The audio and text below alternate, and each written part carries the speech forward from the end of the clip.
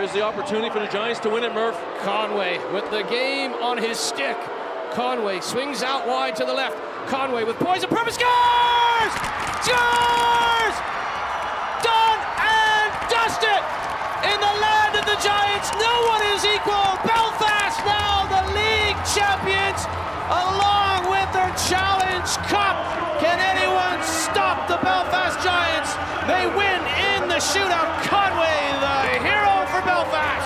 it's not surprising that Conway scored. You, you, you give these top scorers more than one opportunity. A lot of times they're going to score in the second chance.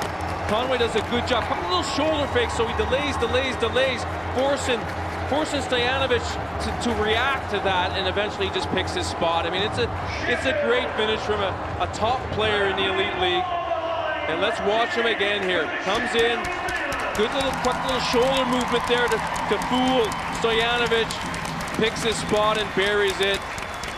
Of course, the Giants are going to be going bonkers out there on the ice and on the bench. I saw the coach. I looked for the coach's reaction first. Remember, I thought I thought Mason was going to jump over the glass. He was so so pumped up about it. But what a fantastic uh, game, by the way. This is incredible stuff, Murph.